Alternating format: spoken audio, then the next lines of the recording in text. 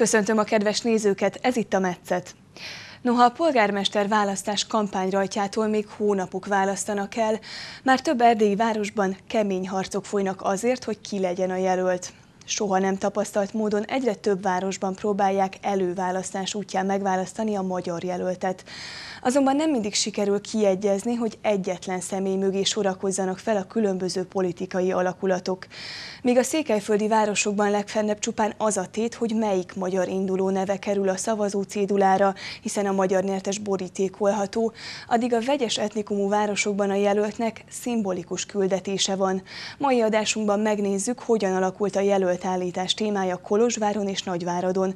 Ugyanakkor azt is megtudjuk, hogy milyen jelentősége van a jelölt állítás választásnak ezeken a megyeszékhelyeken, ahol nincs reális esély arra, hogy magyar induló nyerjen. Tartsanak velünk! Kolozsváron az RMDS Kolozs megyei szervezetének állandó tanácsa és Kolozsvári szervezetének választmánya január 29-én egyhangú szavazással döntött Horváth Anna Kolozsvári polgármesteri jelöléséről. Bár a jelölt tisztában van azzal, hogy nincs esélye nyerni, mégis fontosnak tartja az indulását polgármester jelölés tulajdonképpen egy eszköz, egy lehetőség arra, hogy minél erősebben, minél határozottabban és tisztában tudjuk megjeleníteni ennek a közösségnek az üzeneteit, a terveit, az elvárásait, a célkitűzéseit az elkövetkező időszakra. A jelenleg alpolgármesteri tisztséget betöltő jelölttől azt kérdeztük, hogy miért vág bele a kampányba. Van ennek a döntésnek mindenképpen egy személyi és egy szakmai vonzata, amelyekről külön, külön kell úgy érzem beszélni. A személyi vonzatával kapcsolatban talán azt a legfontosabb elmondanom, hogy az elmúlt 20 év szakmai tapasztalata, az elmúlt 20 év pályafutása számomra azt bizonyította be, hogy alkatomnál fogva, talán személyiségi jellemzőimnél is fogva, neveltetésemnél fogva a legjobban teljesíteni, a leghatékonyabban dolgozni, közösségi célokat felvállalva tudok. Ebben az időszakban civil aktivistaként, szülőként, kolozsváriként, de mindenek előtt köz szférában dolgozóként, közszolgaként, ahogy, ahogy mondani szokták, bebizonyosodott számomra ez a dolog. Ilyen szempontból úgy érzem és úgy gondolom, hogy ez az a munka, amiben valóban megtaláltam magam leginkább. A döntése szakmai, politikai vonzatáról Horváth Anna elmondta, az elmúlt négy évben mind tanácsos munkatársaival, mind ő személyesen, alpolgármesterként is azt a célt próbálta követni, hogy a kolozsvári magyar közösség tagjainak visszaadják a közképviseletbe vetett bizalmát, és bebizonyítsák, hogy a köz közéleti szereplésnek van pozitív hozadéka, és a következetes munkának van mérhető eredménye. Megszerették volna értetni a kolozsvári magyarokkal, hogy a közképviseleti munka őket szolgálja, és értük van. Én úgy gondolom, hogy valóban az elmúlt év végén mérleget vonva, valóban feltérképezve mindazt, amit sikerként, vagy akár kudarcként elkönyvelhetünk, Elmondhatjuk azt, hogy Kolozsváron ebben a pillanatban az irány jó. Akkor is, hogyha nem tudtunk csodákat művelni, de mindenképpen olyan megvalósításokat tudunk felmutatni, és itt persze, amikor mérleg vonásról van szó, amikor mérlegkészítésről van szó, akkor elsősorban az ember a mindennapi munka kézzelfogható, felmutatható eredményeire gondol. Arra gondoltam én magam is, hogy, hogy hát sikerült eredményt felmutatni a Házsongárdi temető védelmének az ügyében, sikerült beindítani az önálló magyar szakoktatást, az önálló magyar bölcsödei oktatást, sikerült megállítani egy nagyon szerencsétlenül útjára induló műemlék homlokzattal kapcsolatos beavatkozást, és nagyon-nagyon sok olyan mint mondottam, a mindennapi munkához kötődő eredményt, amely, amely alapvetően megerősítette a közösségünket. A közösség mellett ez a munka az alpolgármester meglátása szerint megerősítette a magyar emberekben, különböző szakmai szervezetekben és intézményekben azt a meggyőződést, hogy beleszólásuk van a közös dolgokba, közük van a város életéhez, a hivatal őket is ugyanúgy szolgálja, ahogy azt a román emberek esetében teszi. De a mérlekészítés egy tágabb perspektívát szem előtt tartva, megpróbálva azt felleltározni, hogy, hogy mi az, amiben valóban áttörést sikerült elérni ebben az időszakban. Talán a legfontosabb az, hogy a kolozsvári magyar emberek visszanyerték az önbizalmukat. És ebből kiindulva döntöttem el, ebből kiindulva gondol, gondolom úgy, hogy ezt az irányt meg kell tartani, ezt az irányt folytatni kell. Tovább kell tágítani az életterét a civil szervezeteinknek, az intézményeinknek, mindazoknak a közösségszervező tevékenységeknek, projekteknek, elképzeléseknek, amelyek fele erőforrásokat tudtunk ebben az időszakban biztosítani, amelyek valóban középtávon és hosszú távon az itt élő fiataloknak, az itt élő családoknak egy olyan perspektívát, egy olyan jövőképet tudnak nyújtani, amiért Kolozsvár egy vonzóváros tud lenni és maradni, a fiatal családok számára, az itt tanuló fiatalok számára egy olyan hely tud maradni, ahol jó élni, ahol érdemes letelepedni, ahol érdemes családot alapítani. Horváth Anna ennek a munkának a folytatására lát lehetőséget, konkrét projektekben és megvalósítható célokban gondolkodik. Olyan programokat szeretne beindítani, amelyek tulajdonképpen a teljes kolozsvári közösséget érintik, de amelyek hangsúlyosan befolyásolják a magyar közösség életét is. Fiatal tanárok, orvosok, művészek, kutatók, mindazok, akik ennek a városnak a legnagyobb erőforrását, a humán erőforrást jelentik. Ennek a városnak a versenyképességét bármely más romániai vagy közép-kelet-európai város viszonylatában jelentik. Ők, nekük kell uh, tulajdonképpen olyan életkörülményeket biztosítani, amelyek vonzóak, amelyek itt tartják, és amelyek a továbbvándorlástól vagy kivándorlástól visszatartják őket. Ezen felül sok más olyan helyi közpolitikai intézkedés van, amely a családok támogatására, a több gyerekes családok támogatására vonatkozik, és helyi szinten megvalósíthatóak. Ezekből jó néhány pontosan az RMDS tanácsos csoport javaslatára születtek meg az elmúlt években is. Gondolok itt ugye a, a közoktatásban tanuló tanulók ingyen, közszállítási ingyen utaztatására, az ösztöndíj programra, a délutáni oktatás szociális támogatottságú programjaira Kolozsvár különböző iskoláiban. Ezeket folytatni kell. Kolozsváron már több hete zajlik az egyezkedés a Kolozs megyei RMDS és IMMP között arról, hogy milyen feltételek mentén támogatná a néppárt Horváth Annát. Az EMMP elvileg csak akkor támogatná a szövetség által megnevezett jelöltet, ha függetlenként indul a június 5-i polgármester választáson. Az RMDS egyelőre nem kapott végleges választ, hogy az EMMP akkor is támogatja-e Horváth Annát, ha mégis RMDS színekben méretkezik meg. Én magam ezekre a tárgyalásokra ezzel a kéréssel mentem el, ezzel a felkéréssel mentem el, hogy az elmúlt négy év munkájának a fényében, az elmúlt négy év viszonyulásának a fényében vizsgálják meg annak a lehetőségét, hogy támogassák úgy a polgármester, polgármesteri jelölésemet, mint az alpolgármesteri munka folytatásának a lehetőségét, amely természetesen, amely célt természetesen egy nagyobb, egy erősebb, egy hatékonyabb önkormányzati képviselet tud szolgálni. Erre a felkérésre nem érkezett eddig a pillanatig válasz. Én úgy gondolom, hogy testületi döntésekre van szükség a megyei, az Erdélyi Magyar Néppárt megyei szervezetének, városi szervezetének szintjén. Én bízom abban, hogy a bölcsesség, a ráció és a közösség érdekeinek szem előtt tartása fog győzni mindezekben a döntésekben. Az alpolgármester elmondta, hogy az EMMP által kezdeményezett tárgyalásokra annak jegyében mentek el, hogy nem csak a civil szervezetekkel, az egyházakkal, a választókkal, hanem a politikai ellenfelekkel is törekedni kell a párbeszédre, hiszen a célok közösek. Ez a közös cél az, hogy a kolozsvári magyar közösség mindazon tagjait, akik az elmúlt években elfordultak a közélettől, elveszítették a bizalmukat, meg kell tudnunk szólítani, mozgósítanunk kell tudni, hogy a saját érdekükben, hogy a saját érdekképviseletük megerősítését szolgálva az önkormányzati képviselet számszerűleg is növekedjen. Nos, ezeknek a jegyében folytak a beszélgetések, azon felvetések, hogy én magam induljak független polgármester jelöltként, hogy az ők elképzelésük szerint támogatható legyek valamennyi magyar politikai alakulat által.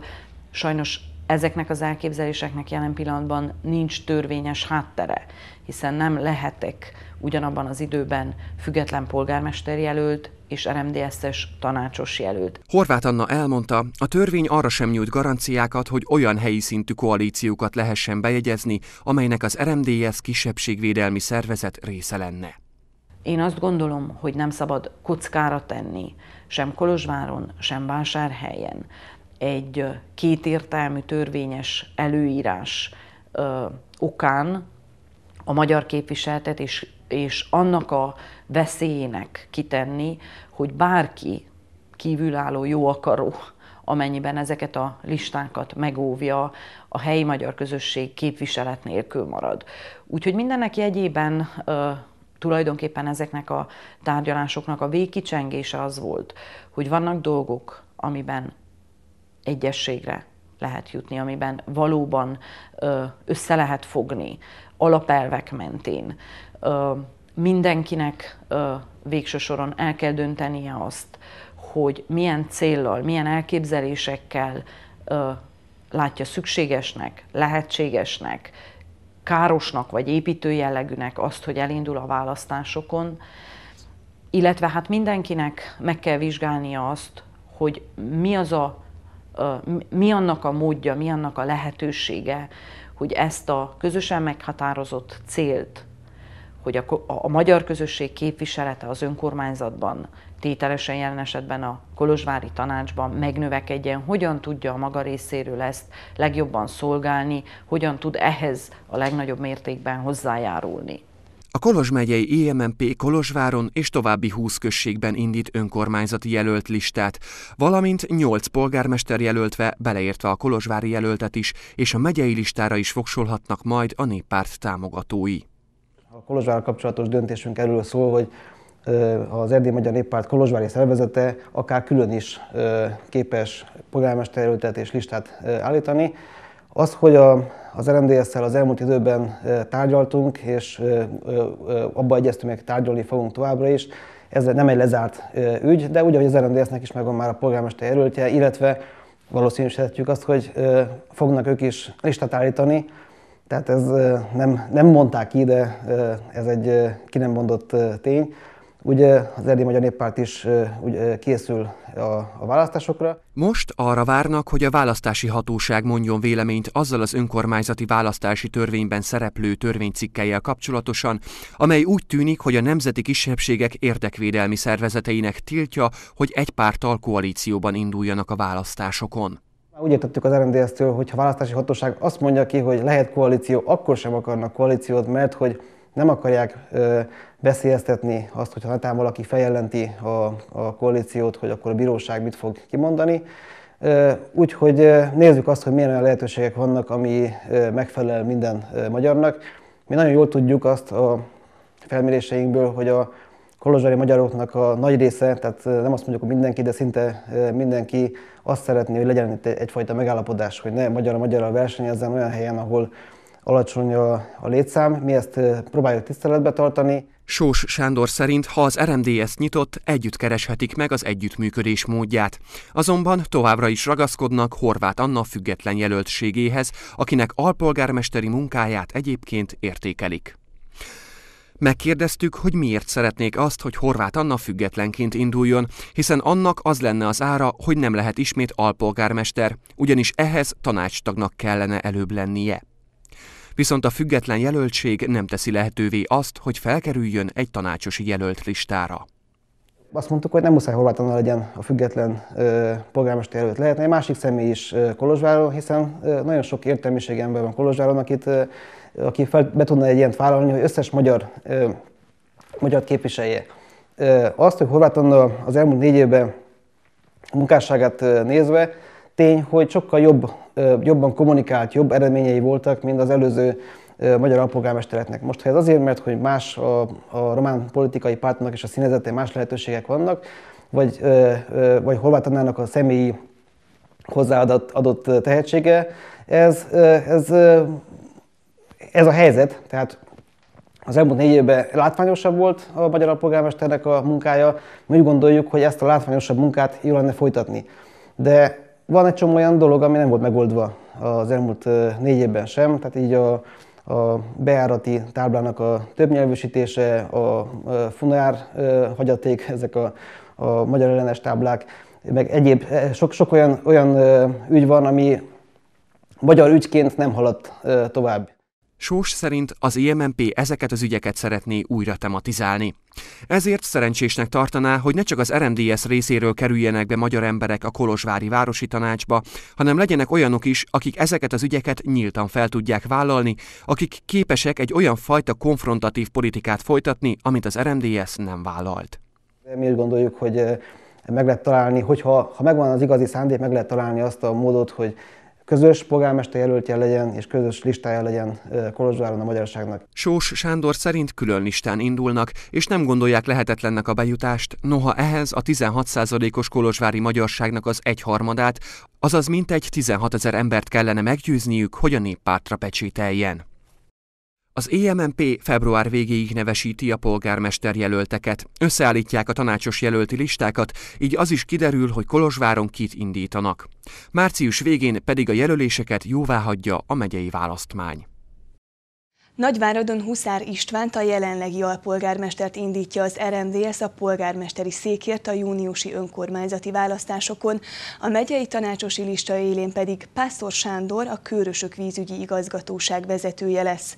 Az Erdélyi Magyar Néppárt külön jelöltet indít, de később dönt a nevekről, ugyanakkor a PCD sem állított még listát. A Penélé Ilie Bolozsán jelenlegi polgármestert indítja. Huszár István lassan egy éve foglalta el az alpolgármesteri irodát. Elmondása szerint ez az egy év meggyőzte arról, hogy szükség van egy minél erősebb magyar képviseletre Nagyváradon. Úgy gondolom, hogy ahhoz, hogy ezért tenni tudjunk, ahhoz, hogy azokat a dolgokat, azokat a, a projekteket, amiket elkezdtünk, amiket újra sikerült indítani, például az egyházainknak az anyagi támogatása, civil szervezeteknek. Tehát 2012-es költségvetés óta nem volt civil szervezetek részére támogatás. Nem azt mondom, hogy ez az összeg óriási, de egy civil szervezetnek a semminél sokkal több. Ezeket sikerült újraindítani, valamint az, hogy sikerült a kulturális, a tavalyi év folyamán azért számos kulturális rendezvényt, mondjam úgy, egy kicsit sikerült megreformálni, sikerült egyre több magyar vonzású előadásokat bevinni. Akkor a sportéletet is egy kicsit sikerült fellendíteni, sikerült Európa bajnokságokat idehozni Nagyváradra. Ezek lassan, de biztosan mind hozzájárulnak ahhoz, hogy a város élete felpesdüljön. Huszár István elmondta, számos megvalósításról be tud számolni, ez azonban nem elég. Ugyanakkor fontosnak tartja azt, hogy a nagyváradi magyarság kezdi visszanyerni önbizalmát, és kezdi megkeresni a polgármesteri hivatalban az alpolgármesteri irodát, ahol segítséget kér ügyes-bajos dolgaira. Ez megerősítette őt abban a meggyőződésében, hogy a magyar képviseletre szükség van. Ezért is szeretné folytatni ezt a munkát február 23-án lettem kinevezve önkormányzati határozat által, de gyakorlatilag szinte március volt, amire az irodát elfoglaltam, tehát egy bő két és fél évig nem volt magyar képviselet, és szeretném kihangsúlyozni, aláhúzni, hogy minden nagyváradi magyart szeretnék képviselni, és előtérbe helyezem a, a közösség érdekeit, azt szeretném, hogyha egy olyan csapat állna fel mögém, egy megújult csapat, új lendülettel, új erővel, új arcokkal, akik, akik a közösség, szintén a közösség érdekeit fogják előtérbe helyezni. A magyar alpolgármester menet közben vette át a projekteket, például a Nagyváradi kampusz épületének kivitelezését. A napokban fogják átvenni azt az iskolaépületet, amelynek köszönhetően meg fog szűnni a délutáni oktatás a zsinagóga ugye át lett adva, a bicikliutaknak a harmadik befejező etapja, amit végül sikerült befejezni, és próbáltunk olyan útvonalakat meghatározni, amelyek már megközelítik a városközpontot is.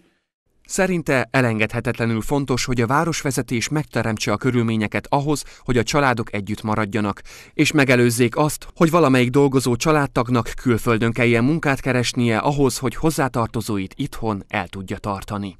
A gyermekeink feltétlenül itt kell tovább, továbbképzést találjanak és munkahelyeket találjanak, relatív, jól fizetett munkahelyek, nem úgy, hogy azzal büszkélkedünk, hogy hátulról Biar megye a negyedik, ugye, a, az átlag, a fizetéseknek a, a szempontjából.